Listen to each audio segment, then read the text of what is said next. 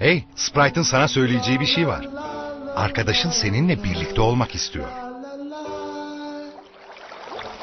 O dost görüntüsünün altında yıllardan beri beklemekte olan sürüyle hormon var. Hepsi zayıf anını, zor zamanlarını bekleyip duruyorlar.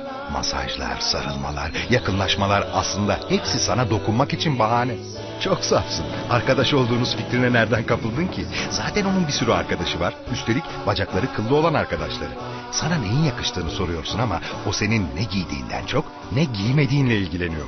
Sen onunla her şeyi paylaşmaya hazırsın ama onun paylaşım anlayışı seninkinden biraz farklı. Sprite'dan